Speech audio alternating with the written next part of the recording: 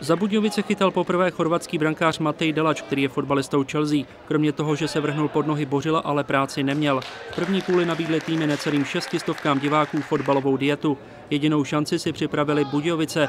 Lengel sklepl hlavou míč na Stráského, který z několika metrů trefil jen tyč. Ten první poločas opravdu asi za moc nestál, to přiznávám. Po změně stran poslal budějovický trenér na hřiště Brazilce Hacna, který hru oživil. Hlavičku klesy vyrazil Vaclík na roh. Žižkovské obraně zatápil aktivní Ondrášek. Po jeho zpětné přihrávce pálil Hacn, ale Vaclík hosty znovu podržel. Měli jsme strašně velký, velký problém s pohybem, dělal nám velký problém zde na Ondrášek. Brazilec Hacn dál motal hlavy obráncům, jenže jeho přihrávku neuvěřitelně minul krajan Sandro. Domácí se přesto dočkali odměny. V 67. minutě po průniku Klesy a přihrávce Hacna skoroval Zdeněk Ondrášek.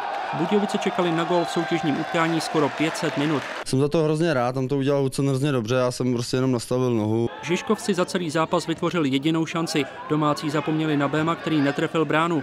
Budějovice mrzely nedotažené akce přes rychlého Hacna, které končily špatnou přihrávkou. Spíš nám chyběla ta finální fáze, kdyby jsme ji zlepšili, sklidnili, tak to nemuselo být jenom 1-0. 1-0 není jako z pohárové matematiky, z pohárového hlediska zase až tak špatný výsledek, i když říkám, mohli jsme vyhrát víc. Dynamo čeká v osmifinále poháru ještě odveta na Žižkově.